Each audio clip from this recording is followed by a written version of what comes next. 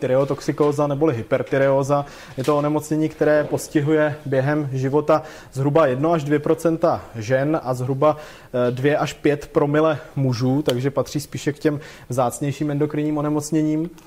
Eh, na úvod eh, takovou asi obecně známou definici, co to je eh, tyreotoxikóza a vydělil bych určitý pojem subklinická tyreotoxikóza, což je stav, kdy je patologie v oblasti TSH, normální periferní hormony štítné žlázy a e, subklinická obvykle se říká takovému onemocnění, které nemá žádné klinické projevy. Ne všechny klasifikace akcentují tenhle aspekt, jsou některé, které počítají pod subklinickou, e, subklinické onemocnění e, na základě laboratorních kritérií a nikoliv podle symptomatologie. Takovým zvláštním případem je T3 toxikóza, která je poměrně raritní a mnoho o ní mluvit nebudeme.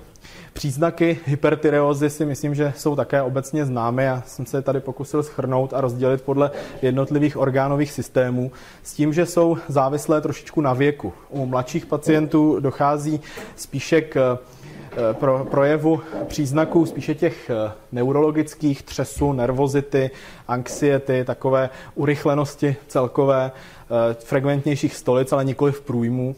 U starších pacientů naopak dominují kardiovaskulární účinky, tachykardie, fibrilace síní, nově zjištěná. Mimochodem eh, na velkých datech vychází, že zhruba 11% pacientů s nově zjištěnou fibrilací síní má nějakou patologii v té hormonech, takže by to mělo patřit ke screeningu pacientů s fibrilací síní. A jsou tam i některé vzácnější příznaky, které asi neupomínají na prvním místě na tyreopatii, jako poliurie, poruchy menstruačního cyklu a je dobré Eh, v téhle situaci na hypertyreózu také myslet.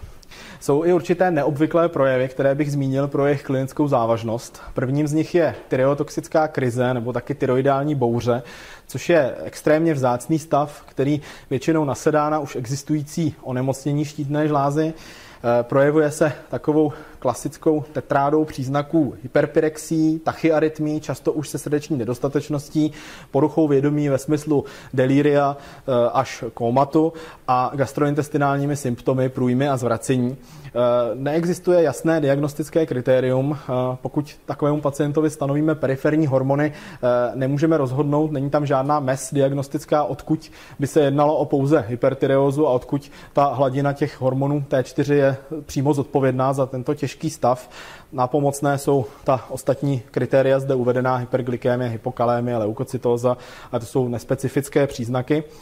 Léčbou je jednak symptomatická léčba, beta-blokátory, e, pokud jsou možné s ohledem na ten celkový klinický stav. Samozřejmě v podmínkách kardiálního selhávání mnohdy možné nejsou. E, a injekční léčba tyreostatiky. U nás není registrovaný injekční metimazol, eh, favistan, ale většinou bývá k dispozici na jednotkách intenzivní péče, eventuálně u nás v ambulanci. Eventuálně alternativou v případě nedostupnosti jsou vyšší dávky tyreostatika do nazogastrické sondy a další léčba, jak je uvedeno. Je to opravdu raritní onemocnění, které se vyskytuje skutečně extrémně málo často, spíš jde o to na ně podobných stavů myslet. Druhý podobný takový velmi vzácný projev, eh, zejména u pacientů azijské populace, je tereotoxická periodická paralýza, eh, kterou eh, už jsme u nás jednou viděli. Pacient, který má velkou slabost svalovou, zejména v návaznosti na konzumaci většího množství sacharidů, eventuálně větší fyzickou zátěž. Podstatou je zvýšená aktivita NAK a ATP-ázy v důsledku vyšší hladiny té hormonů, díky které dochází k hypokalémy a zároveň eh, se relativně nedávno zjistilo, že eh, důvodem, proč trpí tímhle onemocněním zejména azijští pacienti, je určitá mutace v eh, káliovém kanálu, která vede k tomu, že je snížené vyplavování draslíku z buňky svalové a dochází k paradoxní depolarizaci a vlastně k takovému bludnému kruhu, kdy do buňky vtéká kálium a ta buňka není schopná se ho zbavovat. Eh, v léčbě se používají beta blokátory, akutně infuze eh, kália, kde je třeba dát pozor na přestřelení naopak do hyperkalémie a úprava funkce štítné žlázy. Intenzita té paralýzy může být různá od svalové slabosti až pro úplnou plegii. V diagnostice, teď mimo těch emergentních situací, v takovém screeningu onemocnění štítné žlázy má zásadní postavení TSH. V případě normálního TSH, pokud si odmyslíme některé centrální formy a některé vzácné stavy rezistence, je te, normální TSH vylučující hypertyreozu a ostatně i hypotyreozu. U suprimovaného TSH potom stanovovat periferní hormony. Běžně stanovujeme jejich volné frakce, spíše dáváme přednost T4. T3 je dobré myslet i na možnost té T3 toxikózy. Protilátky běžně stanovované jsou zde. Eh, u hypertyreózy má největší význam protilátka proti TSH receptoru. Všichni pacienti by měli mít sonografii a scintigrafie má skutečně velmi limitované použití. Takhle vypadá taková typická hypertyreóza na sonografickém snímku. Příčin hypertyreózy je celá řada. Eh, zmínil bych dvě nejdůležitější, které jsou zodpovědné za opravdu tu drtivou masu pacientů s hypertyreózou.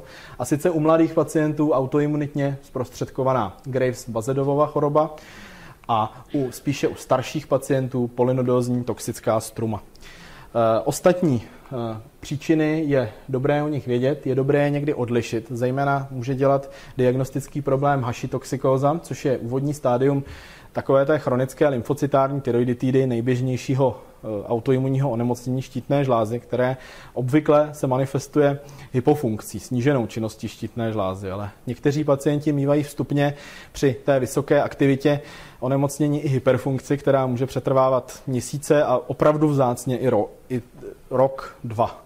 A skutečně imponuje jako eh, Graves-Bazedovova toxikóza. Rozvoj eh, Graves-Bazedovovy toxikózy jenom zcela ve stručnosti je vázaný na nějaké genetické základy, kdy geneticky chybí určitá populace T supresorových lymfocytů. Eh, pod vlivem nějaké většinou nespecifické zátěžové reakce, stres, infekce, hodně souvisí s psychikou, dokonce v tomhle případě i zanechání kouření může spustit eh, tuhle kaskádu, dojde k produkci protilátek proti TSH receptoru. Jsou to stimulující protilátky, které se naváží na TSH receptor a spustí produkci hormonů periferních nezávislých na hypofizárním stimulu.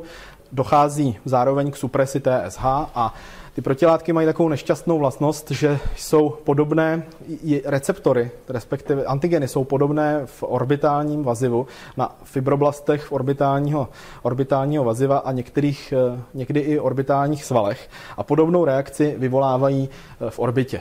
Nikoliv všechny protilátky. Ta protilátka proti TSH receptoru není uniformní jedna protilátka, ale jedná se o řadu e, protilátek, které jsou odlišné, bytě stanovujeme jedním kitem a tedy zdaleka ne u každé e, Graves bazedovovy nemoci musí dojít k tomuhle, e, k téhle endokrinní orbitopatii. Naopak polynodozní toxická struma vzniká, e, také může vzniknout na podkladě autoimunitního zánětu ve štítné žláze nebo nedostatku jódu. Tyhle oba faktory působí na sníženou produkci hormonu v tyreocitu. E, tím zpětnovazebně hypofýza produkuje více TSH. Pod jeho vlivem nejenom se zvyšuje produkce hormonů, ale zároveň roste štítná žláza. Roste parenchym štítné žlázy. A tím, jak roste, to pro organismus není fyziologické. Zároveň se na tom podílí i strumigeny a některé genetické faktory a zevní vlivy. Eh, strumy nejběžnějším strubigenem jsou brukvovité rostliny, soja. V zemích, kde se konzumuje hodně soji, je výrazně vyšší výskyt tyreopatí obecně. No a dochází napřed k difúzní hyperplázii žlázy, která tak zase nevadí, ale v jejím terénu k vývoji abnormálně funkčních uzlů, které se vyvážou z závislosti na hypofizárním TSH, no a postupně dochází k jejich přeměně, zvětšování a ta štítná žláza eh, ze začátku funguje přiměřeně eufunkčně, ale později právě ty independentní uzly eh, se přesmyknou do hypertyreózy. Léčba hypertyreózy se neliší podle její etiologie, alespoň v počátku, a v poslední době k ní, v ní nedošlo k nějakým změnám, takže tohle schéma platí už uh, poměrně delší dobu. Používají se vstupně tyreostatika, uh, přičemž v dnešní době preferujeme spíše tyamazol, vzhledem k tomu, že má o něco méně nežádoucích účinků. Eh, Propyltiouracil používáme hlavně v prvním trimestru těhotenství a v prekoncepční péči, o tom bude ještě řeč. A jinak symptomatická léčba. Beta blokátory, a v těžších případech je možné kombinovat už vstupně tu léčbu s chloridem litným, který snižuje konverzi T4 na aktivní hormon T3 a může sloužit jako určitá také podpůrná léčba. Nicméně eh, pacienti podle mých osobních zkušeností, kteří to litium dostali, mají, měli velmi špatnou gastrointestinální snášenlivost. Začínáme většinou nějakou léčbou útočnou, kterou po několika málo týdnech snižujeme na udržovací léčbu. Eh, určitou alternativou u velkých štítných žláz je kombinační léčba tyroxinem a zároveň tyreostatikem, která má některé výhody v imunomodulačním efektu, nicméně v studii, kde byly tyhle dva způsoby léčby postavené proti sobě, ta studie neprokázala žádný měřitelný přínos a je kontraindikována v graviditě. Dneska se říká spíš, že není doporučena, v těch starších doporučeních byla vyloženě kontraindikována. No a je třeba nalézt nějaké definitivní řešení té štítné žlázy, Eh, buď navození klinické remise po určité době tyreostatické terapie, to je, eh, řekněme, u třetiny pacientů s Graves bazedovskou toxikózou. Šance záleží i na ultrazvukovém nálezu, který by se měl normalizovat, jak průtoky štítnou žlázou, tak eh, morfologie parenchymu operační řešení nebo léčba radioaktivním jódem. Proč nepodávat dlouhodobě tyreostatika? Setkáváme se s řadou pacientů, kteří mají dlouhodobě tyreostatickou léčbu a nejsou symptomatičtí. Nicméně eh, určitý toxický efekt tyreostatik je na závadu, eh, i byť jeho frekvence výskytu není velká a nezdá se, že by narůstal s dávkou podle těch dat eh, a s dobou trvání léčby podle těch dat, která jsem měl k dispozici. Horší problém je pokles účinnosti. Ví se, že po dvou letech léčby Eh, pokud je pacient stále nutné ho léčit tyreostatikem a nedojde k remisi, více než 60% pacientů relabuje. Eh, další faktor nepříznivý je určitá strumigenicita toho léku. Narůstá objem štítné žlázy, neví se úplně přesně, jestli je to efekt léku sama o sobě, nebo jestli je to určitými přechodnými hypotyreozami, které během té léčby k ním dochází. No a poslední je kancerogenita, eh, která spíš vychází z prací kazuistických, eh, z velký, velkých dat se eh, tahle závislost nezdá, ovšem karcinomy štítné žlázy rostou extrémně pomalu a myslím si, že studie, která by tohle mohla prokázat, by musela pacienty léčit skutečně více než 10 let. A studie na tkáňových kulturách toto naznačují. Tedy nám nezbývá, než pacienta odeslat k operaci štítné žlázy. Eh, nebo k léčbě radiodem. Já postupně se zmíním o obou těch modalitách. V dnešní době operace eh, používáme v podstatě pouze totální tyroidektomii nebo jednostranou lobektomii. Ta jednostranná lobektomie je vyhrazená pouze pro pacienty s independentním hyperfunkčním adenomem štítné žlázy. U autoimunity, u polynodózní toxické strumy logicky eh, operujeme štítnou žlázu celou. Eh, jiné výkony se v podstatě neprovádí a ta operace má určitá rizika. Eh, jednak poškození příštítných tělísek a z toho rezultující pooperační hypokalcémy, která může být trvalá a je třeba ji řešit eh, vysokou dávkou vápníku a vitamínu D v substituci. A pooperační paréza zvratného nervu, která je velmi nepříjemnou komplikací. Podél štítné žlázy vede nervus laryngeus recurrens, který je silnější a lze ho vizualizovat, lze ho chránit neuromonitorací eh, v rámci té operace, kdy se stimuluje vagus a eh, sondou se zjišťuje, kde tedy ten rekurens vede, když nelze ho přímo vizualizovat. Druhá věc je, že eh, ani neuromonitoring není stoprocentně spolehlivý a nechrání stoprocentně pacienta před parézou zvratného nervu. A další problém je nervus laryngeus superior, který má drobné větévky v místě horního pólu štítné žlázy. V podstatě není možné se jim vyhnout a u části pacientů, která se odhaduje až na 10% až, dvě, až jednu třetinu, dochází po operaci štítné žlázy k poklesu vlastně hlasu, těch horních hlasových poloh, zhruba až o jednu oktávu, což je pro běžného člověka eh, není nic, co by poznal, nicméně pro člověka, který se živí profesionálně hlasem nebo na, na tož zpěvem, je to velmi fatální záležitost a proto u těchto pacientů dáváme přednost léčbě radiodem. Takhle vypadá ta operace, nepřehledné operační pole a neuromonitoring, takže v podstatě není se čemu divit, že ani při, eh, ani při velké opatrnosti chirurga může k tomu poranění dojít. No a alternativou, která se používá zejména ve Spojených státech, je léčba radioaktivním jodem, kdy se podává radioaktivní jod buď v kapslích, anebo ve formě takové tekutiny. Ten radioaktivní jod se podává v různých dávkách, ta, to dávkování není standardizované, každé pracoviště má trošičku jiné zvyklosti. Pracoviště, kam posíláme pacienty my s benigní diagnózou oddělení nukleární medicíny v Českých Budějovicích podává dávku většinou od 5 do 7 milikyrí bez ohledu na váhu pacienta a bez ohledu na bez ohledu na velikost štítné žlázy. Eh, problém je, že je nutná hospitalizace v podmínkách speciálně stíněného oddělení, zejména s ohledem na vylučování toho radiodu močí, takže musí mít speciální kanalizaci to oddělení a proto eh, není v Plzni tahle léčba dostupná. Tady v regionu v poblíž je dostupná v Motole, kde se starají o maligní diagnózy a v Českých Budějovicích, od kam posíláme s benigní diagnózou. Eh, takovým nejobávanější komplikací té léčby je riziko tyroidální bouře, o které jsem tady mluvil na začátku. Eh, podání kortikoidu před léčbou a podá, podávání tyreostatik až těsně do podání toho radiodu trošku snižuje riziko, nicméně zase klesá efektivita léčby radiodem eh, může zhoršit léčba radiodem endokrinní orbitopatii, no a u nás je to minoritní postup. U nás většina pacientů je odesílána na operaci, Naproti tomu ve Spojených státech drtivá většina pacientů, včetně žen v prekoncepčním věku a včetně dětí, je odesílaná na léčbu radiodem i při vědomí těch některých nežádoucích účinků. Ta léčba se tam používá řadu desetiletí a větší nežádoucí účinky skutečně pozorovány nebyly, takže eh, se dá říct, že je srovnatelná. Nicméně eh, tohle jsou data z loňského roku, eh, kdy vzali metaanalýzu skutečně poměrně velkého počtu pacientů léčených buď eh, léčbou radiodem nebo eh, operací a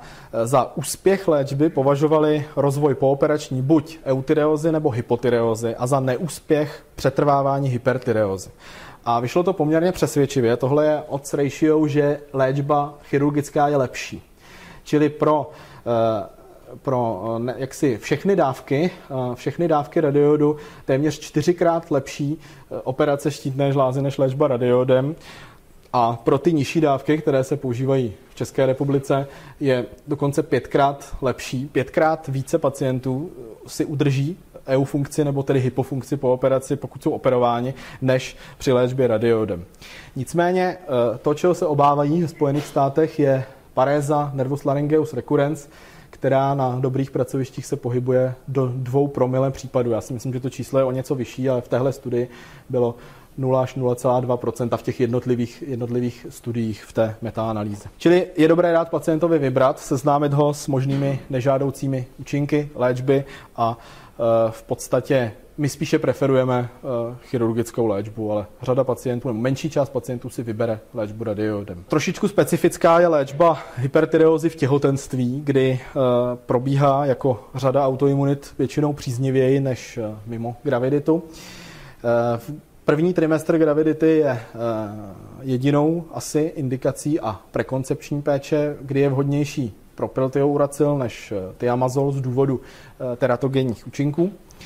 Nicméně správně a podle nových doporučení by se v druhém a třetím trimestru měl pacient převést na léčbu eh, tyamazolem. Doporučuje se to.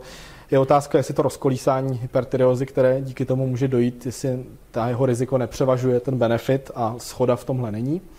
Eh, je třeba pacienty kontrolovat velmi frekventně, tedy pacientky, eh, cílit FT4 do horního pásma normy. Stanovování TSH tady nemá příliš velký význam, protože TSH reaguje se spožděním a skutečně orientujeme se pouze podle FT4. Zácně je nutné provést totální tyroidektomii na rozhraní druhého, třetího trimestru a dávat pozor po porodu, kdy většinou dojde k reaktivaci autoimunity samozřejmě mimo těch žen, které byly operované. No a čeho se bojíme nej, nejvíc je amiodaronová tyreotoxikóza, eh, kterou tady zmiňuji zejména, protože amiodaron patří k široce používaným lékům. Je to lék, jehož jedna tableta obsahuje 74 mg jodu, přičemž denní potřeba jodu se pohybuje kolem 200-300 mikrogramů. To znamená, je to obrovské předávkování jodem, které v organismu zůstává dlouho. Po jednorázové aplikaci amiodaronu jeho biologický poločas je 10 dnů, po e, trvalém užívání dlouhodobém až 100 dnů, podle tedy celkově podané dávky. Riziko stoupá samozřejmě s kumulativní dávkou a zejména to, co je problematické, je hypertyreoza druhého typu destrukční, ke které dochází v jinak zdravé štítné žláze, a dojde vlastně k rozpadu tyreocytů, vyplavení těch zásobních hormonů, které jsou v koloidu, v matrix štítné žlázy do krve a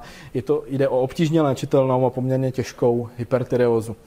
Léčí se podobně Eh, jako jiná hypertyreoza s vyššími dávkami tyreostatik. Používají se glukokortikoidy docela úspěšně v dávce 1 mg na kilo, eventuálně litium. A samozřejmě symptomatická léčba hydratace, beta-blokátory. A existuje doporučení České endokrinologické společnosti pro pacienty léčené amiodaronem, před vyšetřením, před zahájením léčby vyšetřit TSH, kde to jde, kde samozřejmě ta indikace není akutní, nebo při zahájení terapie a skrýnovat TSH zhruba jednou za 3 až 6 měsíců. Přičemž eh, onemocnění štítné žlázy, hypotyreoza, struma není kontraindikace léčby. Pouze hypertyreoza je eh, ne absolutní, ale relativní kontraindikací léčby, ale je třeba skutečně ty pacienty frekventně kontrolovat a začít včas léčit. A dostávám se k tomu, co je v dnešní době nebo v posledních letech nové, tím je subklinická hypertyreoza, eh, onemocnění, které vlastně je laboratorní, pacient nemá symptomy, a já se vás pokusím přesvědčit, že ona vlastně ve skutečnosti subklinická není.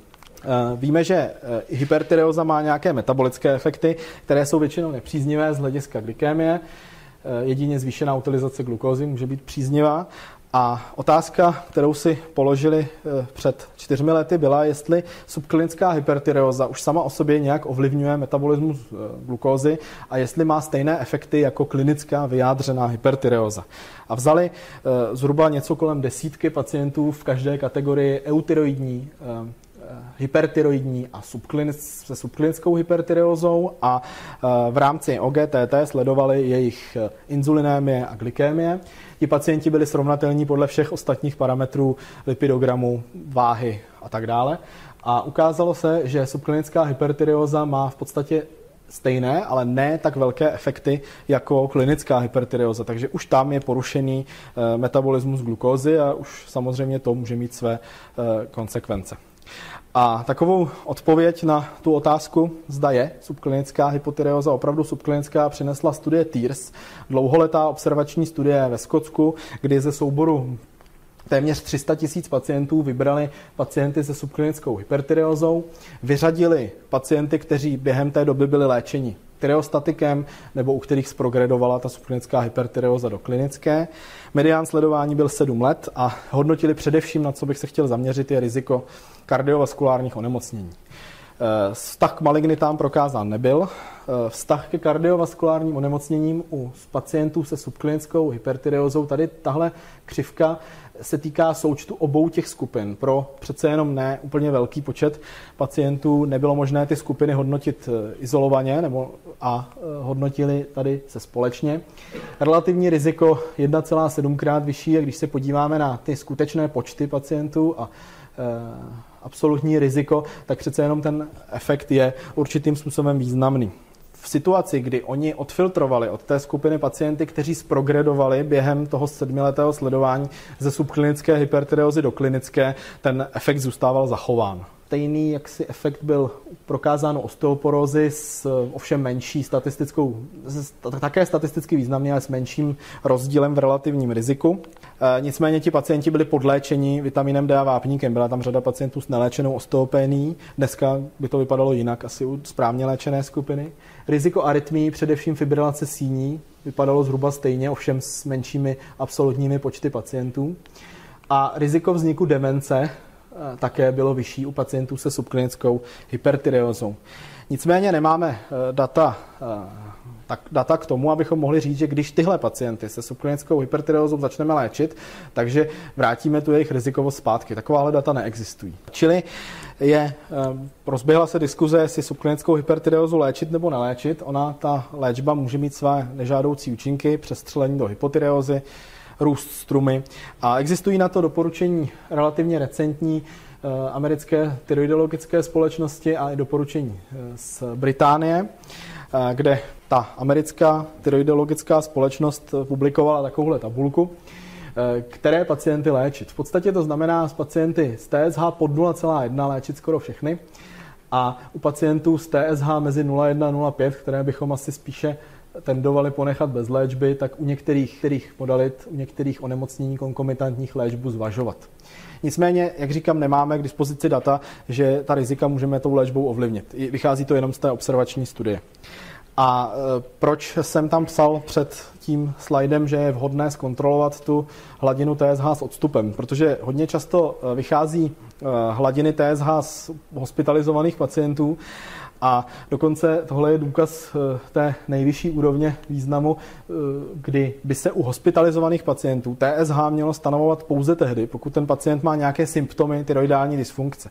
Ale ne, nepoužívat během hospitalizace, která sama o sobě je určitým stresovým, stresovou záležitostí, můžou tam působit jiné faktory, ne, nenabírat během hospitalizace TSH v rámci screeningu.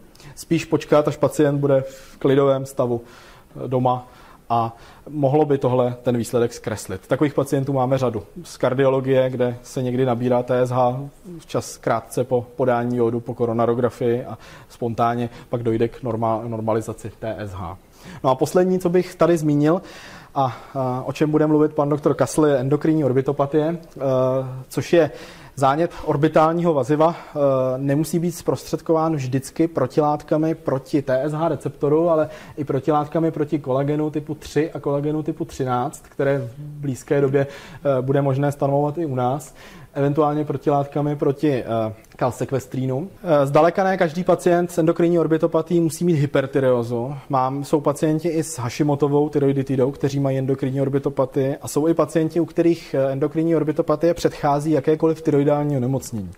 Ten pacient může vypadat naprosto typicky, kdy asi to nečiní příliš velké diagnostické potíže. Může taky vypadat takhle, kdy pouze má hybnost bulbu volnou, pouze preseptální otoky víček by mohly upomínat na to, že se jedná o endokrinní orbitopatii. O čem bude mluvit pan doktor Kassle je uh, důležitý rozdíl mezi aktivitou onemocnění a závažností. Uh, ta autoimunita se aktivuje a postupně i spontánně vyhasíná a je samozřejmě rozdíl, jestli pacienta budeme léčit v situaci aktivity, anebo jestli necháme dovyvinout se až do závažného onemocnění, kdy ty naše šance pak ovlivnit eh, ten vlastní proces budou malé. Eh, hodně nám pomáhá sono, sonografie, kde tady vidíte normální sval orbitální, tady je sval typicky bříškovitě dilatovaný a tady zdánlivě není nic ale ono to není vidět, ale skutečně tam ten sval je dilatovaný a už stejně echogenní jako ostatní tkáň v orbitě. Tohle už je neaktivní, vyhasla endokrinní orbitopatie, která ale pořád může být závažná, může se pořád projevovat velkým eh,